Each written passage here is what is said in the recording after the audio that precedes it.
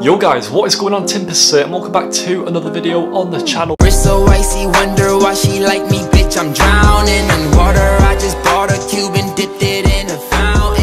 So in today's video, I'll be teaching you guys how to make a YouTube banner like Ali's. Ali's YouTube banner is just really nice, very clean and simplistic. So in today's video, I'll be teaching you guys how to make something like that. And yeah, if you enjoy it, then make sure you hit the like button down below. Can we break 100 likes on this video? That would be amazing. Subscribe if you are new. And also let me know what video you'd like to see from me next down below because I'm always reading them. And this video itself was actually suggested by one of you guys. So if you want one of your ideas featured on my channel, then make sure you comment it down below and you, you never know, I might use it. So yeah, if you enjoyed the video, hit the like button and let's get right into it. Right guys, so we're here in Photoshop, so the first thing you want to do is open up a YouTube banner template and add like a dark background, like black, but maybe not black, just like a really dark grey. And first thing we're going to do is add some spots of white. One in the middle, we'll just add one down here, one down there, and set that to overlay. Next thing, add a new layer and you want to choose a colour. Ali's is blue but I'm going to choose purple because that's like the colour of my YouTube banner and I'm going to click and drag at the bottom. And I'm going to bring down the opacity of that. I want it to be quite subtle. I'm going to bring it below the white spots. And then I'm just going to rub away. In fact no, I'll add a new layer and then go to the brush, make it black and then around the outside we're just going to do a bit of black which will act as like a nice border I'm going to bring down the opacity of that to about 20% the next thing I'm going to do is go to the 27k GFX pack which is mine. You guys probably all have that.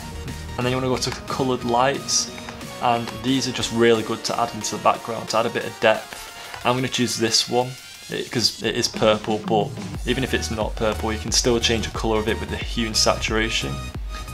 If you just press Ctrl U you can always change the colour of it to whatever colour you want. But this purple one is very fitting for this. I'll just go through all of them. I think that looks pretty good to me. Colour dodge. So yeah the next thing I'm gonna do is um, as you can see this is Ali's YouTube banner right there and it's got like cool lines and shapes on there so that's what I'm to do right now. I'm to go to the rectangle tool, make a shape and you want to make sure it's a colour that you're using so purple for me. And I'm going to rasterize it. And I'm going to bring down the fill a little bit. And then I'm going to double click on the layer, add a stroke and make sure it's purple or what colour you're using.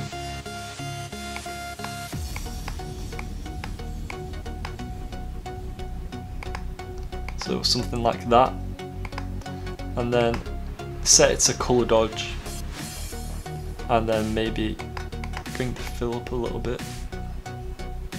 Something like that. So what you want to do now is just press Ctrl T and put it in random places on the YouTube banner. So maybe one there, maybe one over here, maybe a smaller one down here.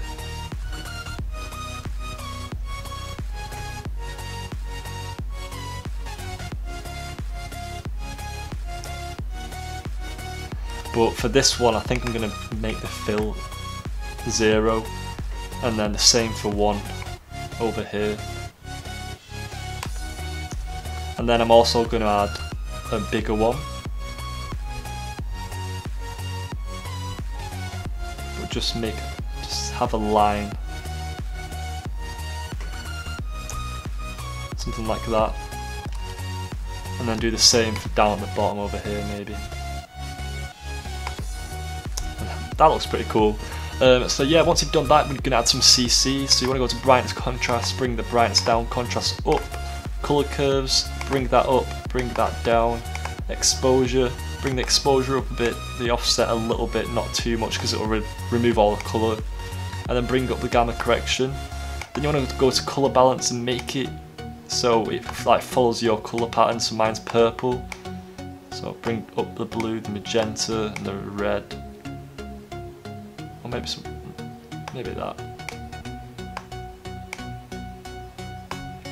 And then I'm going to bring that below all the other colour corrections and group it all together. And that just brings everything together a lot nicely. And then I'm going to add a new layer, go to the brush tool and add some spots of white. And set that to overlay. Just makes things pop a lot more. And I'm going to bring that below all the colour curves. So once, you, once you've got that, as you can see, it's coming along very nicely. Um, you can add some particles as well, but next thing I'm going to do is add a picture of myself, which I've already got. So I'm just going to bring that in. It's just an old one. And I'm going to make that smaller. If it'll let me.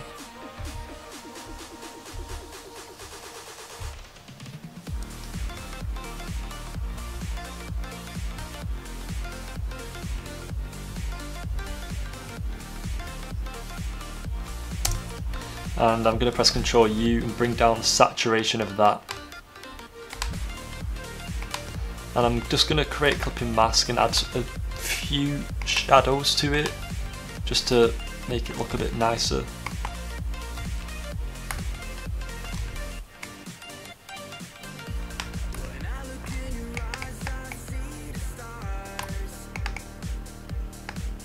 And then I'm just going to bring down the opacity of that. And what else, you can also do this if you create a clipping mask and then choose a colour you're using. So for me it's going to be purple again and then maybe just add a spot of purple and then change that to colour dodge and then bring down the opacity. Make it fit a bit more. What I'm going to do now is just add a spot of white at the top and bring down the opacity. Then what you want to do is if you've got a logo um, like if you've got a logo, you don't have to do this, but just bring that in as well. So I'm going to bring in my Viking mascot because you guys know that that's my logo.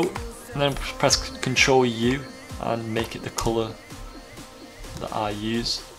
And then I'm going to make it smaller and keep it in the middle because that's where Ali-A has his logo. I'm just going to group myself and move that bit to the right. Like so. And then what you can do is on the left add social media or just put be sure to subscribe. And obviously choose a very clean font. So um, something like Antonio.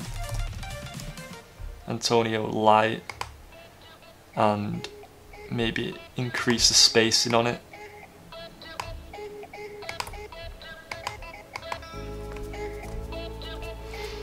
and also you want to get some text on there with your name. As you can see that's the font that he kind of uses. I think I might have that I'm not too sure. I'll put Timpers it, you basically want just a really bold font that's quite like impact to something.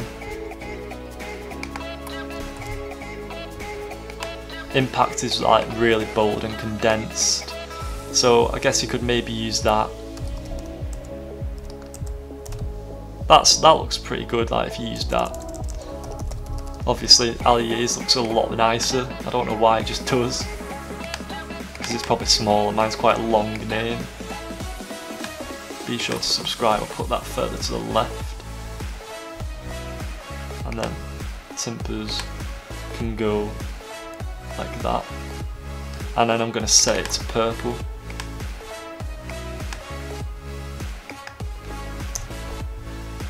It might look better in like um, a white,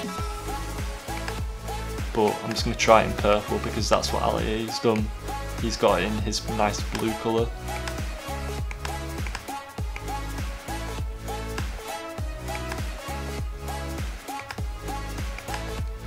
So yeah, I'm just messing around now. That looks pretty good. I think he's got a Contour, yeah, contour.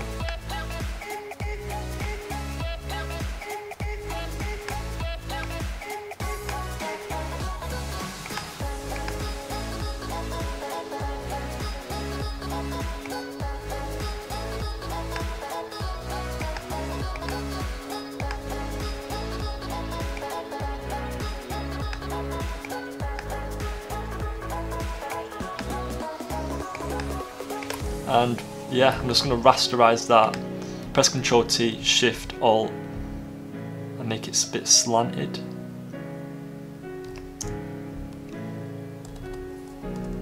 And then I'm going to add some final colours and effects to it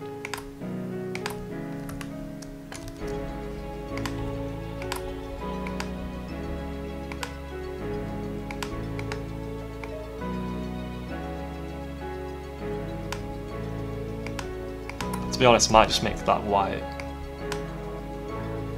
Actually, no, I'll keep it the same. So now I'm just going to add um, a white rectangle to the bottom, just to round it off, make it look a bit nicer. Just a thin strip at the top and the bottom. Make sure it's the same exact length.